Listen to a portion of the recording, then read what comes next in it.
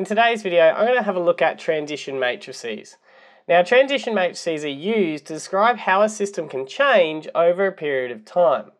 Now, an example of this that I'm going to use today is if I've got a system based on whether you're taking your own transport or public transport to work. For example, when I look at this, if I was to pick someone at random that brought their own transport to work, they've got an 80% chance of bringing their own transport to work tomorrow versus a 20% chance of bringing public transport tomorrow. Now you'll notice that each row here will always equal 100%. That's because the only two options that they've got to get to work is to either provide their own transport of some kind or to travel via the public transport option.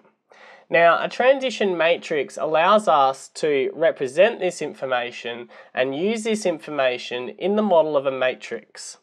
To represent this, we would need a 2 by 2 transition matrix, and we call that matrix matrix T. So we say our transition matrix and we draw up a 2 by 2 matrix and we put our information as it's displayed here.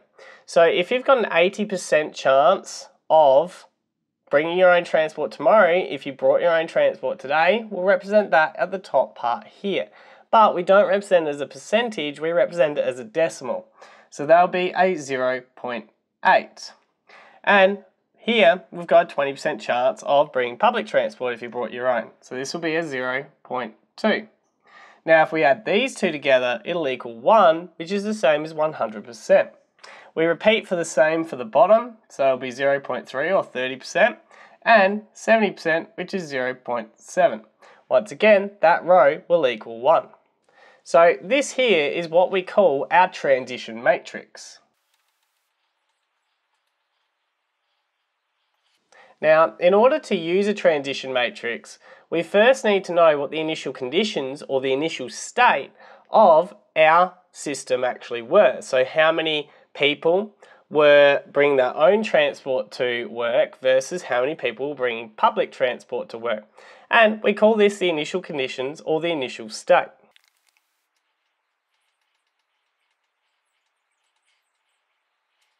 Now, when we refer to the initial conditions or the initial state matrix, we generally call this the S to the subscript of zero matrix, so that state matrix.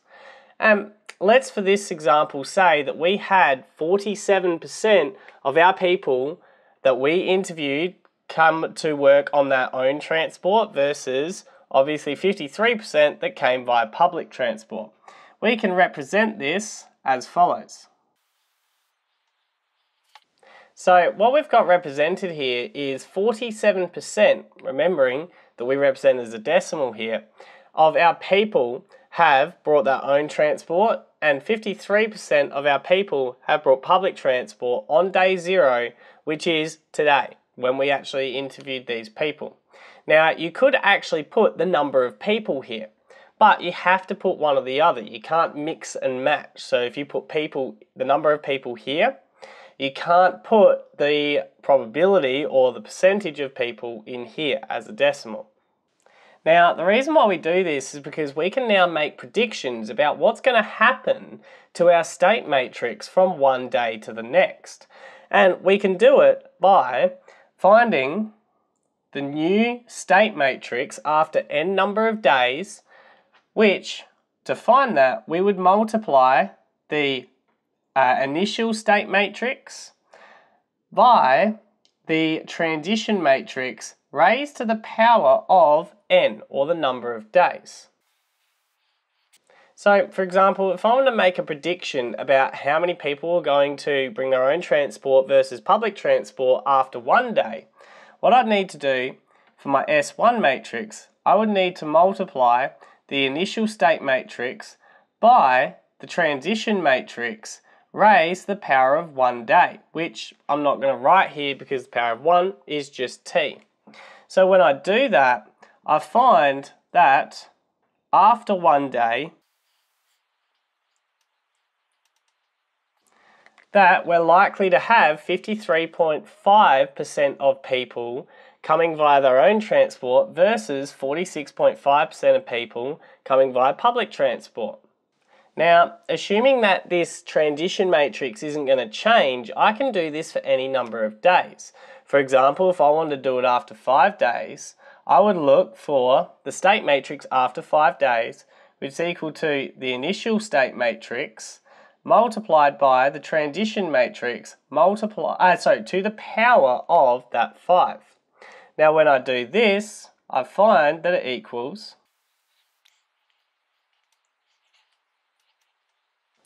as follows.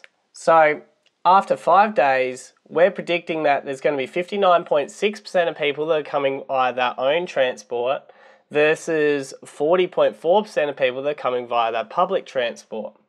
Now, if we look at this, from the initial matrix, we only had 47% of people coming via their own transport. After one day, there was a significant increase, up to 53.5%. And after five days, there was a further increase, up to 59.6%. What will be interesting is to analyse does this keep happening? Does it just keep increasing and increasing and increasing? So let's have a look at the state matrix after 10 days. To find that, we would have to multiply the initial matrix with the transition matrix raised to the power of 10. So when we put this into our calculator, we find that after 10 days, that there are 60% approximately of people that are coming via their own transport and 40% coming via public transport. Now, if we compare this, there isn't actually too much of a difference between 5 days and 10 days here. And this is actually a phenomenon that occurs with these transition matrices. Whenever we're making these predictions based on an initial set of conditions, we end up coming to this sort of stable point that we refer to as the steady state. Now, the steady state refers to when our state matrix, these conditions that we're calculating here, come to a stable, that steady sort of value. They're not really changing every single day anymore. And assuming that these conditions here don't change, there will be a steady state that you can find with any transition matrix. And there's two ways that you can find it. The first way is to take your uh, state matrix, the n plus 1, so add one day onto that, and it should be approximately equal to the previous day. So your state matrix at the nth day. The second way that you can have a look at is to actually make the transition matrix itself with a very large n value. For example, if I was to take this transition matrix here and raise it to the power of 20, it would equal approximately as follows.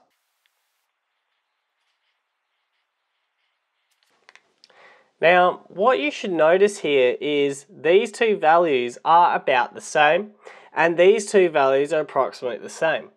Now, if you have this occur once we've raised it to a really large value of n, you've found the steady state that our system matrix is going to come to. So if you look and compare these values, they're actually the same here. So our steady state at the moment is approximately equal to 60% coming, bringing their own transport, and 40% using the public transport to come to work. Now to summarise, transition matrices are used to make predictions about how the state of a system changes over a period of time. We can calculate that prediction by this formula that we've got here where the state matrix to the nth day is equal to the initial state matrix or the S2 the subscript of 0 multiplied by our transition matrix raised to the power of n. Now it's important to note that our state matrix can represent this as proportions or percentages obviously in the decimal format um, of each within our system or the number of people in and of themselves. This could be 47 people and 53 people, for example. Now, if you substitute different values for n, we can obviously calculate a prediction for the number or proportion of people that are going to be bringing their own transport or public transport, whatever the question we're dealing with is, um, based on a certain period of time. Now, the other phenomenon that we've discovered is this steady state phenomenon, where whenever we're dealing with this transition matrix, assuming that those conditions don't change, it will eventually come to a steady state where these values from day to day will no longer be changing. And there's two ways to find that transition state. You can compare one day with the next day, and there shouldn't be much of a change. For example, we're actually comparing five days ahead here, but on the 10th day compared to the fifth day, there isn't too much of a change here. So we could say that this is approximately the steady state. Or we could just raise this transition matrix up here to a really large value for n. Like we did here, we raised it to the 20th power, which then allows us to compare these numbers, and if they're the same as each other, we're going to have found our steady state.